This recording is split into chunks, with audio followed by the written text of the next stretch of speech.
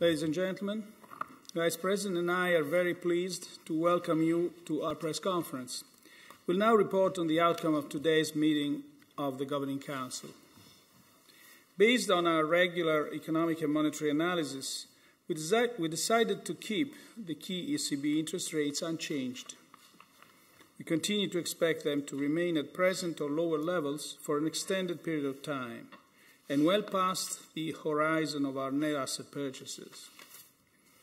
Regarding non standard monetary policy measures, we confirm that the monthly asset purchases of 80 billion euros are intended to run until the end of March 2017 or beyond if necessary, and in any case until the Governing Council sees a sustained adjustment in the path of inflation consistent with its inflation aim. The information that has become available since our meeting in early September confirms a continued moderate but steady recovery of the euro area economy and a gradual rise in inflation, in line with our previous expectations. The euro area economy has continued to show resilience to the adverse effects of global economic and political uncertainty, aided by our comprehensive monetary policy measures, which ensure very favorable financing conditions for firms and households. Overall, however, the baseline scenario remains subject to downside risks.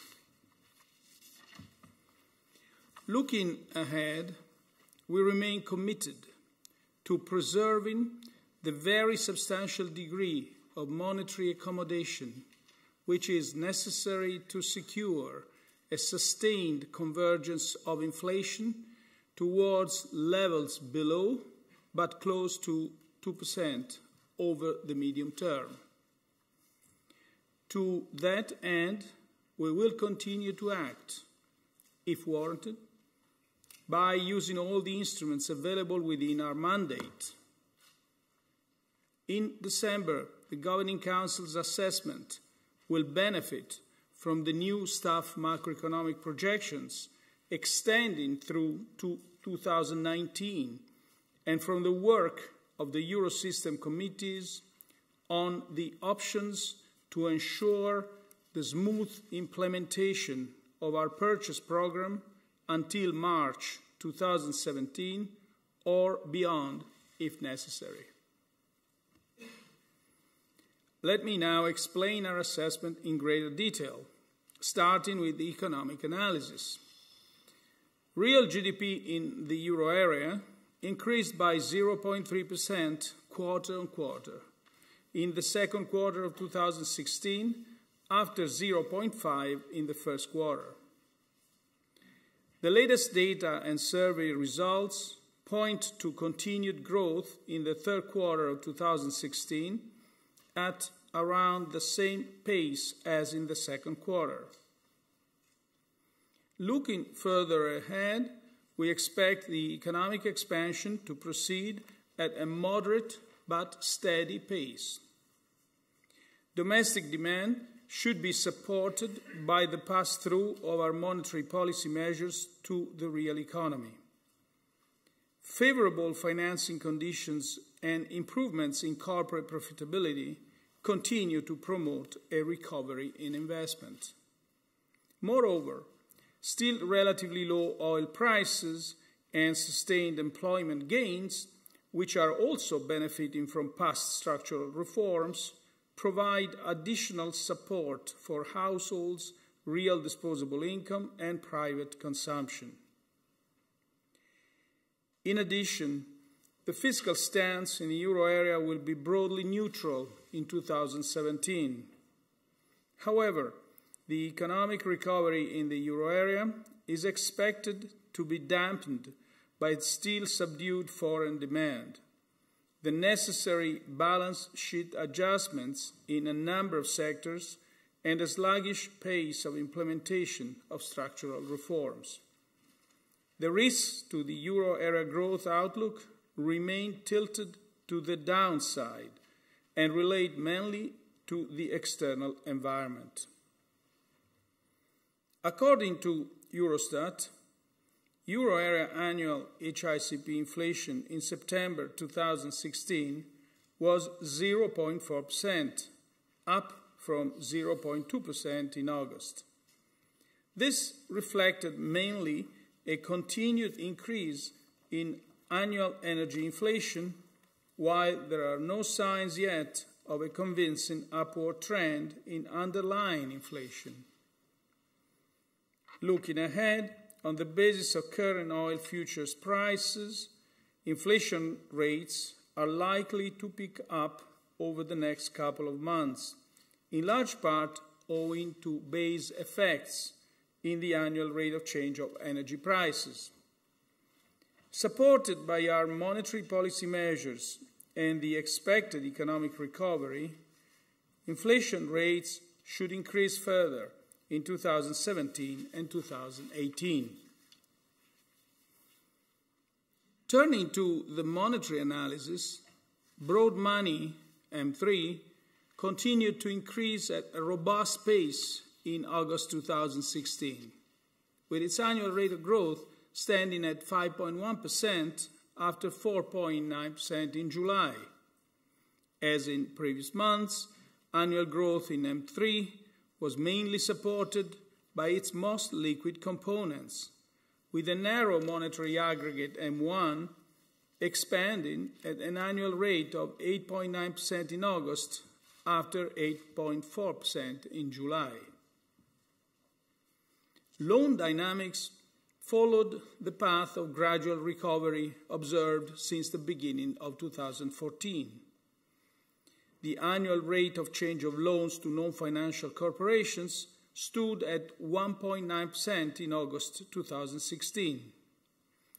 The annual growth rate of loans to households also remained stable at 1.8% in August.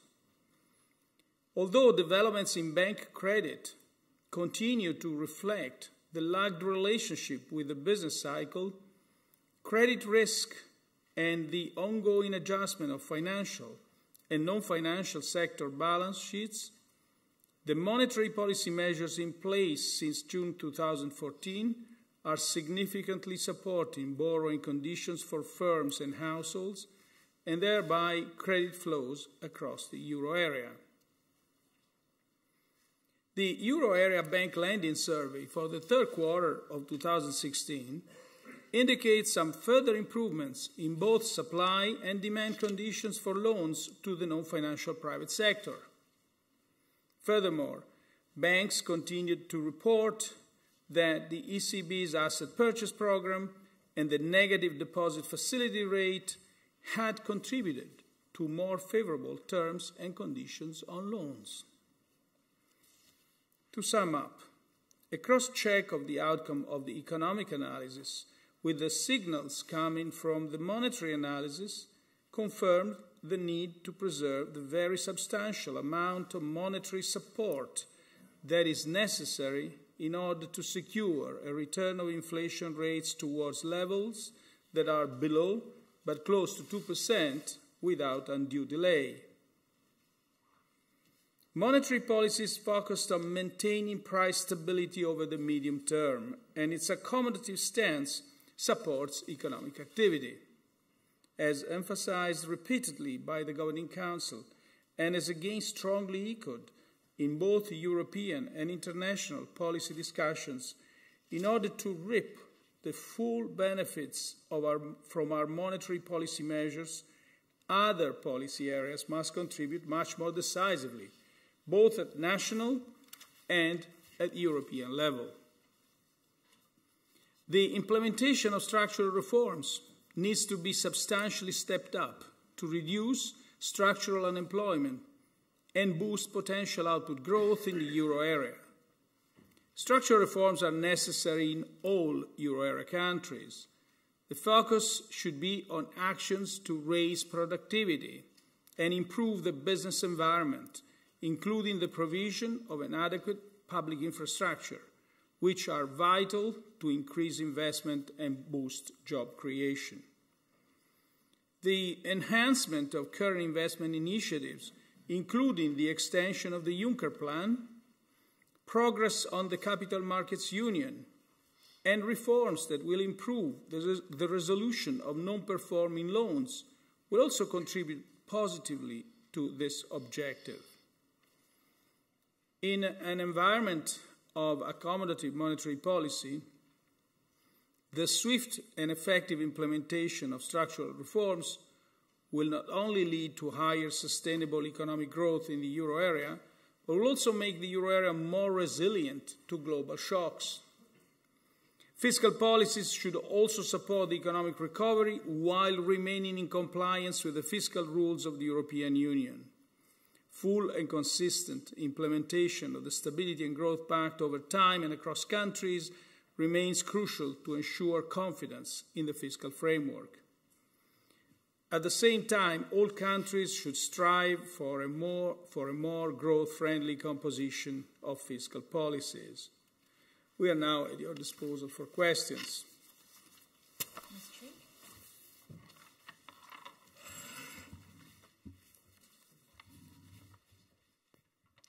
Johanna Treeck, Bedemenai. Thank you very much. Um, Mr. Draghi, could you give us um, a bit of a clearer idea on how you will assess whether um, inflation is on a sustained path um, towards price stability. Some of your colleagues have said that perhaps you know we might want to see a period of overshooting, or will you be looking at core inflation? What are going to be the key parameters that you're looking uh, you'll be looking at? My second question is: uh, Has there been any discussion today about a change in, in policy, and specifically whether you might um, want to extend the QE program beyond March 2017? Thank you very much. Okay, the answer to the second question is no. There was no discussion. The answer to the first question, it's, it's really nothing new. I myself and my colleagues, I think, said several times that, that, that when, we, when we speak of convergence to our objective, this convergence has to be sustainable and durable. And actually, as a matter of fact, should be self sustained. In other words, right now we're all aware that the, uh, the monetary policy support that is in place is extraordinary. And we know, and I've said, that, uh, that the projections that are part of our outlook reflect financing conditions which reflect expectations that this support remains in place. And the, the, the, financing conditions, not only, of course, are the output of these expectations, but also of other factors like monetary policies in other jurisdictions, but in more generally of many other factors. So they do reflect also the expectations of, uh, of the, this extraordinary policy support will remain, will remain in place. But does it mean that it can stay in place forever? And uh, the answer is, of course, not. We want a convergence which is self sustained. In other words, without the extraordinary policy support that is in place now. Second, uh, we've said several times that uh, durable convergence means that, that, this objective should be uh, achieved in, uh, in a sustainable and durable way. Namely, we look through blips that uh, are caused by other factors. I think I've said everything here, and um, yeah. Mrs. Skolimowski? Piotr Skolimowski, Bloomberg News. Um, my first question is, you said in December you benefit from uh, work of the committees of the reviewing the, the program. Um, so could you give us a bit of a flavor of, I guess, certain reports, preliminary reports on the work of committees have already arrived? Um, just give us a general idea, a broad outline of what exactly, what measures you could be looking at, what measures are, are definitely out of the question. Um, my second question would be um, more general, I guess. Um, uh, in your opinion, what really provides the stimulus uh, in your uh, QE program? Is it the stock or the flow of your purchases? Because when you first designed the program, uh, you gave the market a clear idea of, of the size. Now, uh, more recently, the focus of the market seems to be shifting to more to the monthly flow of your of your purchases. Um, how would you how would that shift impact your current review of the of the, of the program um, and your eventual decision to to exit the stimulus? Thank you. Thank you. Let, let, me let me tell you the second point was not discussed, but it's in a sense part of your first question. We uh, we had uh, we, we took stock of the ongoing technical work in the committees, work that is. Uh, designed to ensure a smooth execution of the program until March and beyond if necessary. Uh, we had a seminar and the work was presented. Uh, we discussed various options, but options that uh, really would we, we consider in case we should be confronted with a shortage of purchasable bonds in some jurisdictions. The Governing Council reaffirmed the importance of very supportive financing conditions in fostering the recovery and a gradual return of inflation to levels close to 2% over the medium term. I mean, sometimes it's also important to say what we did not discuss. And we didn't discuss tapering or the intended horizon. And here comes the second question of our asset purchase program. And by the way, the Governing Council reaffirmed that it certainly will take into account the input of the committees, but it just remains the ultimate decision maker here. Thank you. Ms. Jones? Claire Jones, Financial Times. Um, Mr. Draghi, you just mentioned there that um, tapering wasn't discussed today, um, but do you expect it to be on the agenda six weeks from now? Um, and just to return to Peter's point about stock and flow, um, you mentioned in answer to the first question that um, your forecasts reflect expectations that the support that you've provided remains in place, but there's a stock and flow issue here as well, I think. Um, do those forecasts reflect the idea that the stock of purchases will remain the same or that the flow will remain the same at 80 billion a month? I'm sorry to say, but we haven't discussed that we haven't really touched on the issue at all. So we, we simply listened to the outcome of the committee's work and we mandated the committees to continue working. And as I said, the Governing Council will take the as, an, as one of the inputs the committee's work, but it remains the ultimate decision maker. Um, about the expectation it's, uh, it's, what's going to be in the agenda for December meeting. I, we haven't really yet discussed that at all. But more generally, it's quite clear that our decisions in December will tell you what we are going to do in the coming months. And, uh, and so it, they will define the monetary policy sort of, I would say, environment for the coming weeks and the coming months. Mr. Fairless.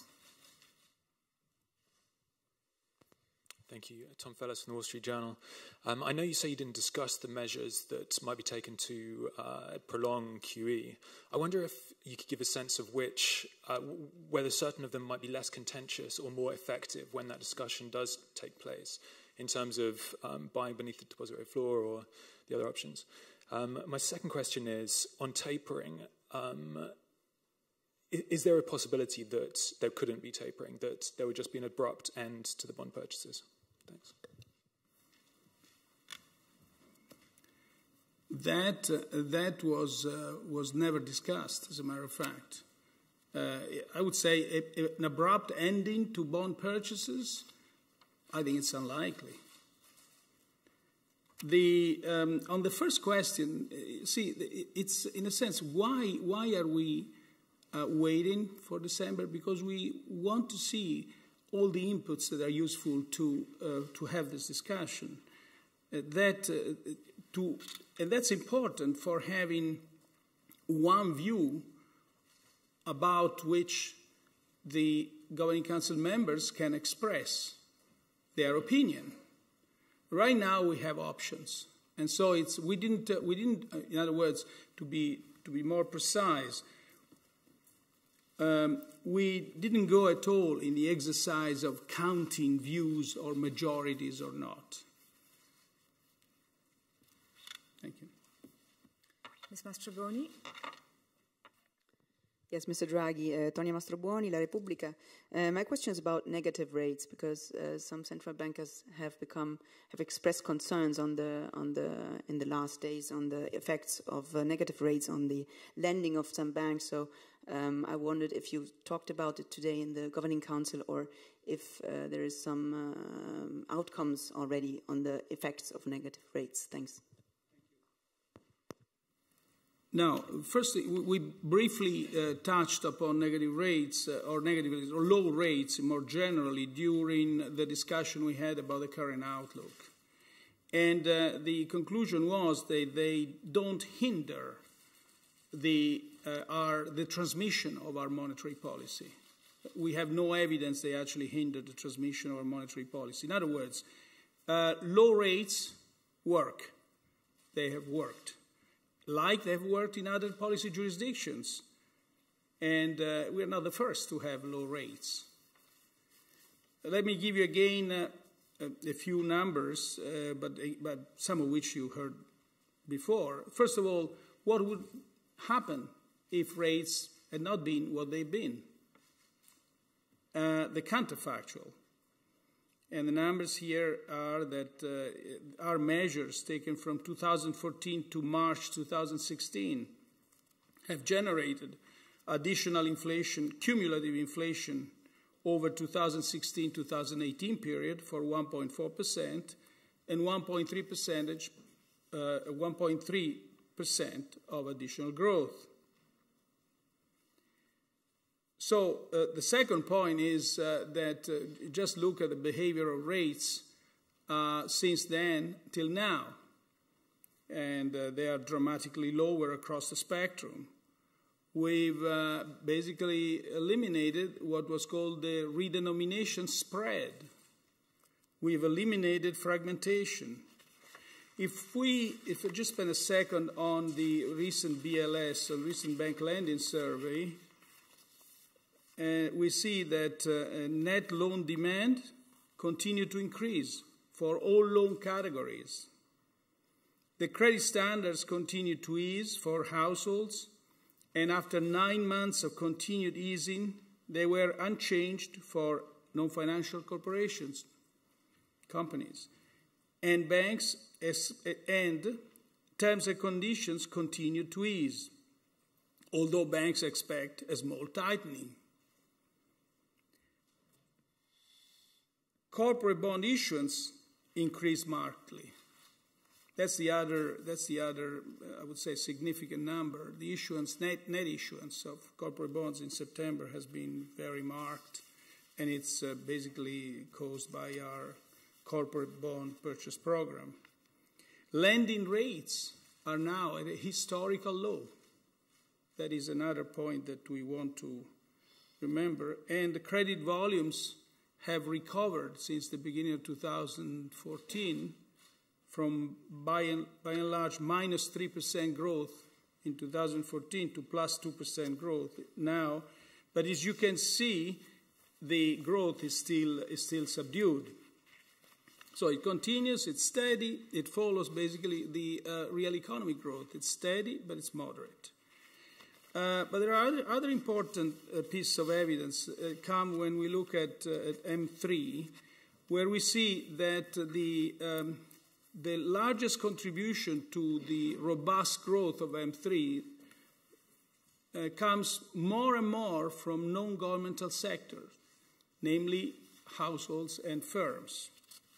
So these are all, all pieces of evidence that, that our policy is being transmitted more and more effectively to the economy. Thank you. Mr. O'Donnell? Also in the bank lending survey, John O'Donnell from Reuters, uh, also in the banking, bank lending survey, it emerged that demand in Italy and Spain was falling in the third quarter. Um, how do you explain that the impact of your policy, a lot of it is directed at getting credit flowing again, is being felt une- unevenly in this respect across the Eurozone? And is there anything you can do to address that? And a second question on the topic of bail in, which is a new rule to spread losses of uh, banks in trouble. Uh, to what degree is, are the markets ready for a bail in in the event of a large financial institution? Let me respond first to the second question. Bail-in rules uh, are in place and they have enough flexibility that uh, would allow to cope with, uh, with the variety of uh, possibilities. So there isn't any, um, any reason to be, to be especially concerned. The Commission has all the power to, to apply the rules and to interpret the rules according to uh, existing legislation. Um, having said that, I don't see at the present time any such an outcome, any such a possibility. The other question was about uh, you. I wouldn't make. First of all, I wouldn't make too much of that po data point. It's only it's, it's only the first data we see after a long sequence of positive data. Uh, second, well, loan demand depends on many other factors other than monetary policy. And uh, we'll have to see what is the uh, current economic situation concerning these two countries. We look at the aggregate. In the aggregate of the Eurozone, the developments are what I outlined before. Ms. Weisbach? I'm Annette Weisbach with CNBC. Um, I have a question regarding uh, the um, scarcity of safe assets, uh, which is, for example, distorting the repo market um, in Europe. How concerned are you about the fact that this is happening? And uh, yeah, are there any contingency plans in case um, there is uh, further stress in that market? Second question is a bit larger. Um, there are some people who are arguing, at least here in Europe, um, that what we are seeing currently is sort of an economic war between Europe, Germany, um, and the United States, looking at all the large fines, talking about Apple, for example, or also the Deutsche Bank potential DOJ fine. Uh, what do you think? Are we here in a political game, or what do you see? Thank you. Now, the answer to the second question is no, we are not. Um, at least that's my perception. We are not in a political game. All parties, in, uh, in doing what they do, apply uh, legislation, apply laws, apply rules. Um, they're not acting because they're politically motivated.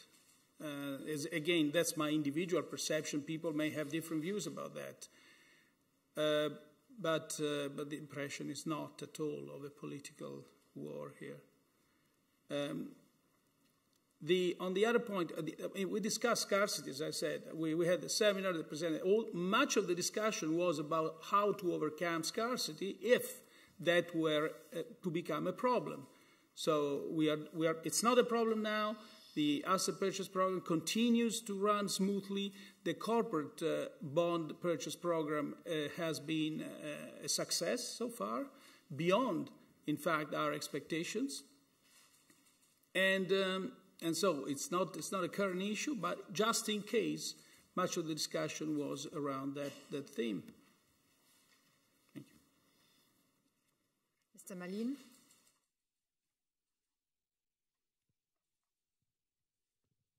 Thank you. Uh, Jan Mallien, Handelsblatt.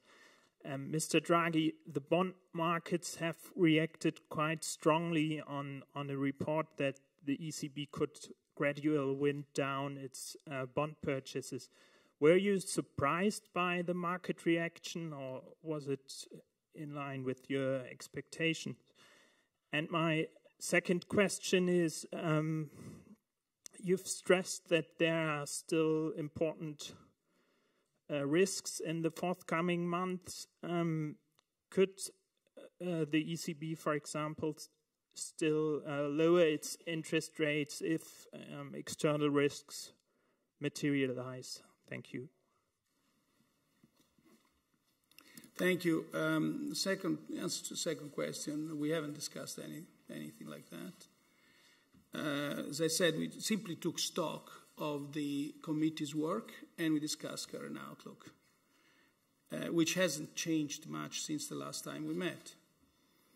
Um, on, on the first question, I mean, the, I've seen the market reaction, and that's why I said that the Governing Council is the ultimate decision maker that will use the input from the committees, but as one of the inputs in the discussion. But the uh, so that's why I said that.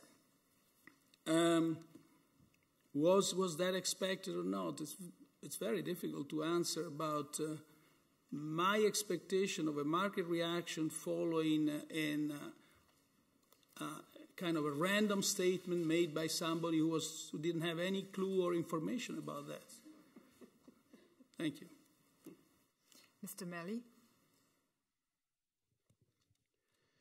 Alessandro Merli Il Sole 24 Ore. I have a question about your asset purchase program. Uh, if there were a downgrade of Portugal tomorrow by DBRS, would that uh, uh, provoke an immediate uh, stop to uh, your purchase of Portuguese bonds? And if you could uh, report any news or any progress on Greece in that in the respect of purchasing their, bonds. my other question is about recent statement by British Prime Minister May, who said there are bad side effects from uh, QE and ultra low or very low interest rates. Uh, one of them, she pointed out, is growing inequality. Um, I wonder what your opinion is on that.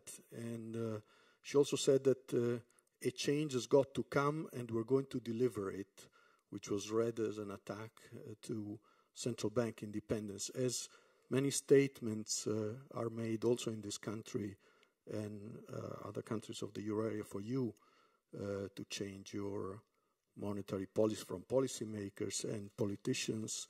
I wonder if you feel that there is a growing uh, feeling among uh, politicians uh, or a growing threat from politicians to central bank independence. Thank you. Uh, no, I don't feel threatened. Neither is the independence of monetary policy by the governing council is, feel, is threatened. Um, the on, on the inequality, we, we certainly have looked at that, on, uh, and I think we've discussed that on other occasions. The point is, and there is actually an interesting study by the Bundesbank on whether more generally non-conventional monetary policy measures uh, increase inequality. The answer is by and large no. And the reason is that uh, the main source of inequality is unemployment. So to the extent that the monetary policy is effective, it will reduce inequality. Although, as you buy assets from people who are wealthy, in the short run, you certainly increase inequality. But uh, when you look at things over the short run, no, the answer is no. That's what uh, I would say about. Oh, you asked me about Portugal and Greece. Um, now, the, on Portugal, the, the bonds, the bonds are, are currently eligible as the first best rating is triple B minus with a stable outlook by this uh, rating agency. So, and we know that if there is a downgrade, marketable debt instruments issued or guaranteed by the Republic of Portugal or Republic, yeah, Portugal would become ineligible as collateral for monetary policy operations and for purchases under the PSPP. Uh, having said that, we should acknowledge the, the remarkable progress that's been achieved in Portugal. Of course, there are vulnerabilities that the government knows very well. And uh, the government is aware that ambition, ambitious reforms are needed. And uh, we can simply adjust from, from our angle. Uh, there is one, one area that I want to highlight, which is the corporate debt restructuring and the uh, addressing the problem of uh, the NPL, the non-performing loans. So that's what it is. About Greece is uh, discussions uh, discussions about uh, debt sustainability are continuing. We have expressed, like uh, like also like others, like everybody else, concerns about debt sustainability. Therefore, measures have to be undertaken to address this problem.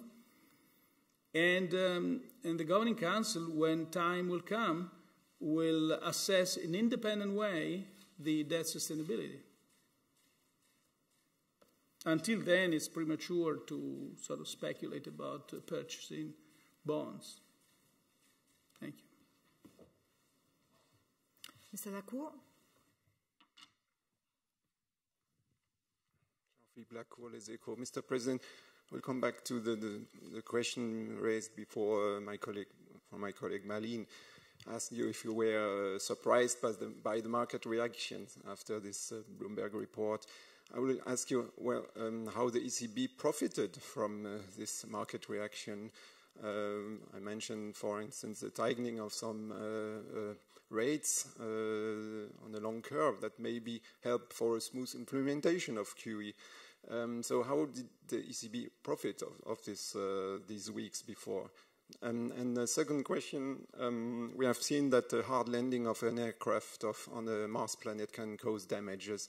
That's certainly not uh, making a parallel uh, what the ECB wants to go through with a stop, a sudden stop of, of a QE. But you made this statement before, uh, simply uh, ruling out a kind of sudden stop of the of the QE of uh, without uh, also you hadn't discussed it at any time uh, yet now by the governing council but what makes you so uh, sure, or what makes this statement uh, made from you? Because uh, there, are, there is another uh, Bank of England, for example, experimented the, the, sudden stop of a purchase program. So why either choosing the, the Fed way, for example? Thank you. Thank you. The, the answer to the second question is that my perception is that the sudden stop uh, as it was outlined before, is, is not in anybody's mind. Is, is, not, is not present in anybody's mind. It's not something that people naturally contemplate. Um, and there are many reasons that, and fairly obvious reasons why this is so. Um, on your first question, uh, I, I catch, actually, I never, uh, I never thought that we could profit out of sudden moves of uh, coming from, uh, from unauthorized and probably uninformed sources. And um, I have no idea whether the ECB profited out of that. Uh, but certainly, I can only reiterate that uh, profits is not the reason why we run monetary policy. Thank you. Um, Mark Schreurs. Just here.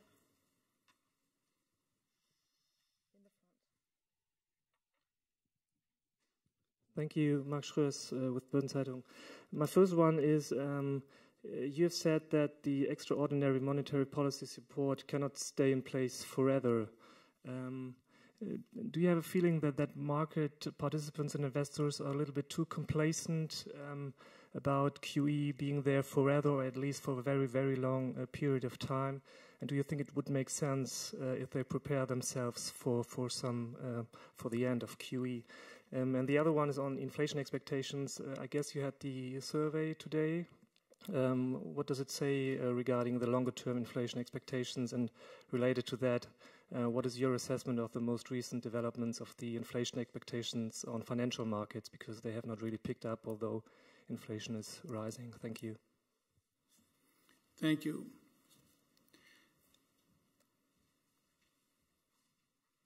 I can only, as far as market expectations, I can only, in a sense, respond pointing out to the fact that the current outlook, the current outlook, the current our baseline scenario of a rate of inflation which will gradually converge towards uh, the our objective in uh, is predicated on the current financing conditions, which are accommodative because they are themselves based on uh, the remaining in place, amongst other things, of the extraordinary monetary policy support offered by the ECB monetary policy. And that's, that's it. That's what markets expect. Do I have a sense they are complacent or not? I think this is part of the more general category of financial stability risks. We certainly monitor, continue to monitor financial markets, and uh, so far we haven't seen evidence of bubbles, whereby a bubble, I define a bubble as a marked rise in asset prices accompanied by a marked increase in leverage. So we monitor financial stability risks. We have not seen uh, any systemic bubble of any kind. We uh, have expressed several times the point that uh, these bubbles ought to be coped with uh, with macroprudential instruments. And uh, I think that's, uh, that's it on this point. On inflation expectations, we've seen well, we have two sets of inflation expectations the survey based inflation expectations, the market based. The survey based have been by and large more, more stable than market based ones. The long term point to 1.8, if I'm not mistaken, and they've been quite stable all throughout this period. Uh, the market based inflation expectations have been more, uh, more, uh, more volatile uh, as they are based on, uh, on financial instruments, the, and therefore uh, the, um, the market developments for these instruments uh, do affect, in a sense, also the expectations. Uh, we've seen that in the period uh, immediately before and more markedly after the British referendum, inflation expectations by and large across all horizons have declined quite, uh, quite um, significantly. But then now, of recent, of more recent, they are recovering their path. So we're also looking at that. It's, uh, it's, part of the, it's part of our information set. Though we have to be aware that certain stable uh, pieces of evidence like, for example, the um, correlation between uh, inflation expectations and short term and actual inflation, or inflation expectations and the oil price, have been themselves very volatile. So it's very difficult to really draw any stable inference from, uh, from these correlations at present time.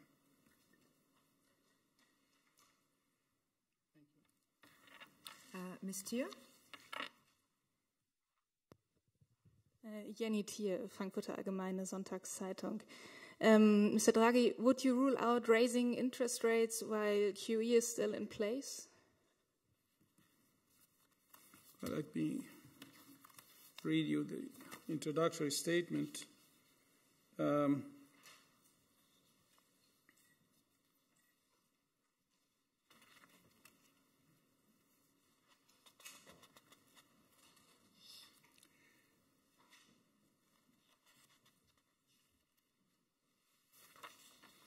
It's um, okay. Um, say based on our regular economic and monetary analysis, we decided to keep the key ECB interest rates unchanged.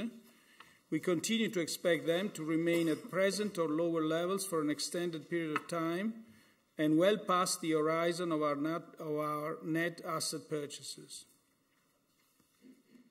Thank you. Our last question goes to Mr. Schulte. Thorsten Schulte, Silberjunge. President Draghi, since the beginning of June, the ECB has bought more than 660 corporate bonds. According to Bloomberg, among these companies are Nestle, Glencore, Novartis, Roche, all in all nine companies from Switzerland that have nothing to do with the euro. Um, so why, Mr. President? That's my first question. The second question is, five-year corporate bonds with a triple B rating now yield 0.23%. I repeat, uh, 0.23%. This is just one notch uh, above junk bond level, and I think that's money for, for peanuts. So your bond buying program only reduces the refinancing cost for large caps. Therefore, it helps these larger companies to take over smaller ones. Um, your corporate bond buying leads to a distortion of competition. You support the big corporations and you jeopardize the smaller and medium-sized ones. Uh, my question is, how can you justify this, Mr. President? Thank you. Well, I don't have to justify, just saying that it's not true. As a matter of fact, uh, both the corporate bond program and the cover bond program uh, do benefit SMEs as well. They have increased the issuance by large corporates, of course, but in so doing, they free space in bank lending so that you can see actually that the spread between uh, loans to SMEs and loans to large corporates has declined quite considerably. Thank you. Okay, I think we've got we've exhausted the questions. I look around again. That's fine. I think we are pressed for time anyway. So thank you very much. Thank you.